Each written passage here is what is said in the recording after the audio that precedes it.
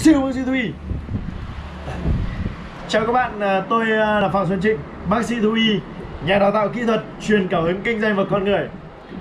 Cảm ơn à, tất cả các bạn đã cho phép tôi được hướng dẫn các bạn trong chương trình siêu bác sĩ thú y. Trong chương trình này, tôi sẽ chia sẻ với các bạn hai điều. Điều thứ nhất, làm thế nào để có động lực trong cuộc sống và kinh doanh.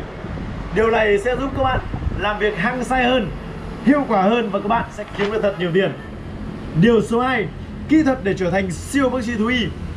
Điều này sẽ giúp tất cả các bạn có được vị thế trong xã hội, vị thế trong cuộc sống. Các bạn làm tất cả những điều gì các bạn thích mà không bị bất kỳ một rào cản nào ngăn cản.